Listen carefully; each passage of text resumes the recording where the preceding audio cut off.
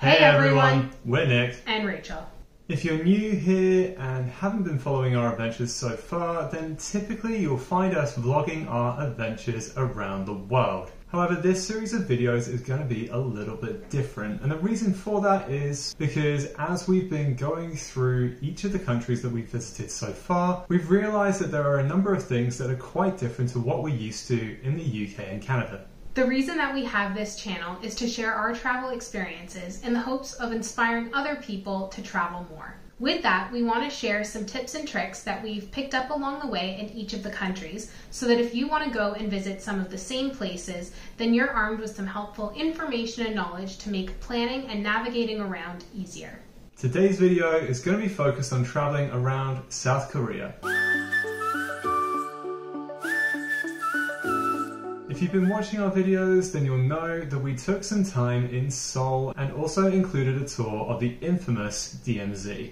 While a few pointers will be specific to these places, the rest of the pointers we're going to be providing to you will be about the country itself. We hope that you find these useful.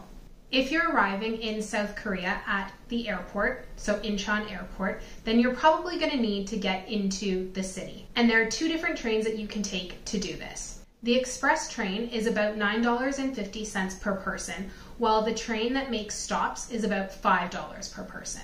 While the stopping train is definitely cheaper, the disadvantage is that it takes about twice the time. However, the train that makes all the stops is the same ticket as just for the regular metro in and around Seoul, whereas the express train is a separate ticket altogether. Once you're in Seoul, then the city is incredibly well connected. There is an extensive metro system as well as bus routes that can take you pretty much anywhere you want to go in the city. However, especially for the metro, it is worth noting that you will most likely have to purchase a new ticket for every single time that you want to get on. For this, you're going to need to use a ticket machine. The ticket machines are cash based, they don't accept international cards. And the other thing to note is that it is for a specific journey from the station that you're at to the desired destination. So, with that, you will need to know the exact name of the metro station that you are planning on going ahead of you taking that journey because you will be expected to input it in order to buy your ticket. The good news though is that unlike some other countries, the ticket machines do operate in English. So with that, then the steps to be able to purchase your ticket once you know these factors is very straightforward.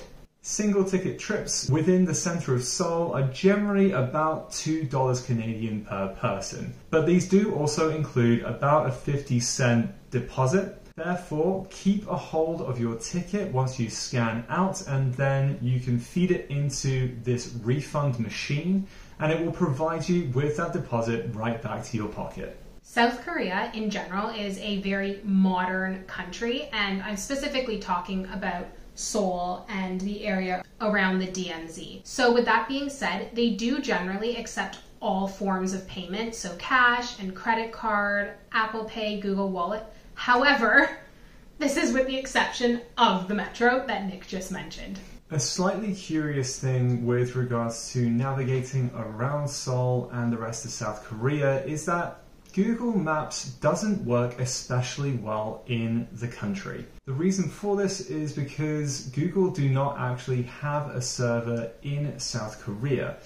So this means that for generally being able to find information on places and getting public transport directions, then you're all set. But for anything that's more specific, like live traffic updates or walking directions or anything like that, then it's not going to be able to give you the specifics or even a route at all. As an alternative, there is a Korean app called Naver or Naver, or I never quite got the sense of how it was meant to be pronounced, but it is worth noting that it is translated directly from Korean, so trying to put in English place names may be a bit of a challenge, and it can be, for one of a better way of putting it, a little bit clunky for a non Korean speaking user.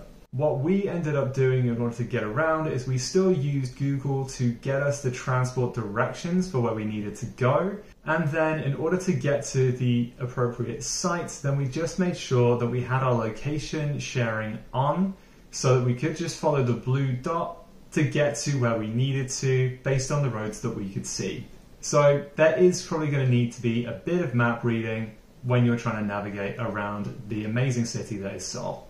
For this reason, it is important to have a data package already set up, but if you don't, then obviously make sure that you do all of this research while you have some connectivity, because obviously it will be more difficult to find where you need to go without it. Convenience stores are located everywhere and are a really good, cheap alternative instead of restaurants. They provide onigiri, coffee, pop, juice, water, sandwiches, pot noodles, and even fresh fruit for a fraction of the price. So if you're on a budget, these are really helpful. The reason for this is that we were pretty excited about the prospect of eating proper restaurant food like Korean barbecue and Korean fried chicken and all of that kind of stuff when we were there. However, when we then actually turned up to these restaurants, we were pretty surprised by just how much these particular things ended up costing. And they were seemingly a lot more in line with what you'd expect to pay in North America and Europe for the same thing. So we were a little bit discouraged from restaurants. One of the things that we tried to do to kind of get away from this was to go to the famous Myeongdong night market. However, this ended up actually having a similar kind of problem. Generally speaking, although you had a lot of different little stalls which had some amazing food on offer, then generally speaking, to get something substantial from one of the stalls, then you needed to pay probably about 8 Canadian dollars for the pleasure. And given that these were really generally small bites by comparison, then you probably need maybe about 3 to 4 of them to really fill you up. So even though it is a night market, then the pricing is not in line with other night markets or hawker markets that you may experience in other parts of Asia. As Nick mentioned, we were a little bit limited on what we could try due to our budget. We were priced out of Korean barbecue and Korean fried chicken.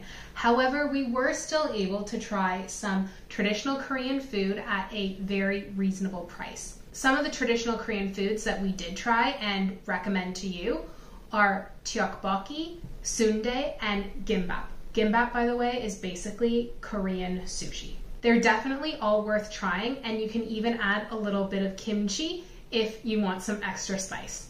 One thing that we didn't quite realize until we got into Korea is that Koreans love their coffee. And because of the coffee culture that is in Korea and specifically Seoul, then it is very, very easy to find yourself basically a vat of coffee for barely any price whatsoever with iced coffee really being the drink of choice. As an example, generally speaking, there were multiple different chains that you could use, and in each of those, then it was very standard to be able to buy something about 16 to 20 ounces, so basically a pint, for anything between two to three Canadian dollars per cup. In certain coffee shops, though, it's worth mentioning that you could even get a 32 ounce coffee for just under $5. So let that be an indicator to you as to what you can expect while you're there. Historically, tours of the Demilitarized Zone, or DMZ, have included the Joint Security Area, or JSA. However, while we were there, unfortunately, we were not allowed to visit the JSA, nor were any other tourists, because there had been a little bit of an international brouhaha involving a tourist crossing the border to North Korea while on a tour. And that made us really question whether it was going to be worth paying to go on a DMZ tour because they're not cheap. However, we decided we should go ahead with it because we were really interested in the history and all I can say is it is worth doing a DMZ tour, whether it includes the JSA or not. The history that you learn on this tour is amazing, and even more than that, you really gain an appreciation for the human toll that this conflict has taken. And I really think it's just worth learning about that. If you want to go a little bit further back into your history, then Seoul has a lot of temples from the feudal age. And each of these is absolutely stunning in their own right. However, I think we ended up getting it a little bit palaced out because we ended up seeing about five of them within the space of two to three days. The good news with that though is that actually the majority of these only cost a thousand won, so one Canadian dollar to get in. So it is definitely cost effective to go and visit each one if you want to. But if you are pressed for time or you're just only fussed about seeing one, then we would recommend the largest one, which is called Gyeongbokgung. That one I think was more like $3 or maybe 5 can't quite remember now. But that one had the largest grounds, the buildings were grander, and definitely it was a good way to spend half a day just exploring the grounds and admiring the amazing work that's gone into the buildings. Just as with many of the other countries that we visited, temples and places of worship are free to visit. However, just remember to dress appropriately and you can find the guidelines online. If there's anybody who's watching who enjoys singing or karaoke or anything like that, then you are definitely in luck with Seoul. However, if you do a Google search for karaoke bars in Seoul, you may end up coming up shorter than you expect. The reason for this is because the Korean word for karaoke is not karaoke. It is called noraebang. And if you search for noraebang instead, then you will find a huge number of recommendations for places to go if you want to sing your little hearts out. The best place to go for this is the Hongdae neighborhood. And there, then you have your more classic style karaoke booths that we are generally accustomed to in most parts of the world. But in addition to this, then they have an interesting thing called a coin operated noraebang. And essentially, this can be a room in the same way, or it can be just a little single booth. And instead of paying for X amount of time where you can just sing as many songs as you want, Instead, it's a pay per song model, and generally speaking, it's quite economical. And the good news is because you're choosing the songs and because you're paying based on song alone, then you have all the time in the world to figure out exactly which songs you would like to sing. Therefore, if you have a little bit more time on your hands, or you just don't want the pressure of rushing into things when it comes to your song choices, then perhaps this would be a good alternative. And that's our list for South Korea. We recognize that we really didn't explore a huge amount of this country, so our tips have definitely been limited to just Seoul as well as going on a DMZ tour. Nonetheless, we hope our tips and tricks have been helpful and that you can apply them to any future travels. We do recognize that this is definitely not an exhaustive list for the whole country, and it is restricted to a certain pocket of the country. So if you have any questions or further suggestions, please leave a comment below. Until next time, though, take care. And keep smiling.